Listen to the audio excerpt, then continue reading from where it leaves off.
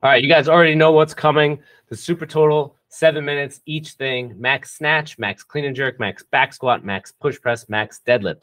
For anybody who did this previously during the week, your scores are up. So we're excited to see where everybody finishes out and how everybody does. And I just wanted to thank everybody for participating in this year's Marble Mayhem.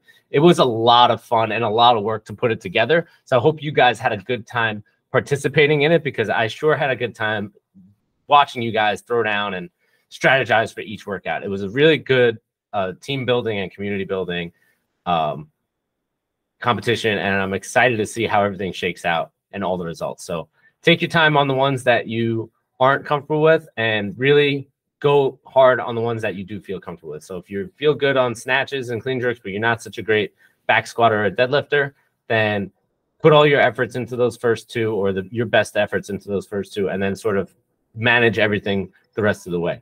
But other than that, guys, it's been a fantastic year. I can't wait to see what happens for next year. We got a new location coming. We're going to start planning everything, and we are going to be in there by February, right? Thank you all for everything. Good luck.